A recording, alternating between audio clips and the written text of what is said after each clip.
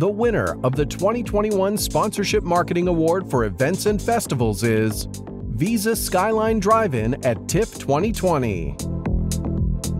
To help elevate and activate uh, this nostalgic pop-up experience outside uh, for 12 screenings over 10 days with over 4,000 guests, they enlisted the support of 13 local small businesses to help them activate this partnership. They also use their own media channels to shine a light on why supporting small businesses is so important.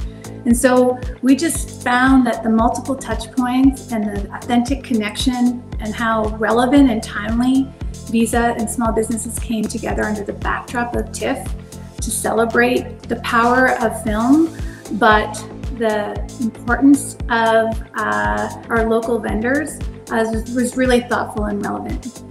Congratulations to Visa for their outstanding contribution to sponsorship marketing in Canada.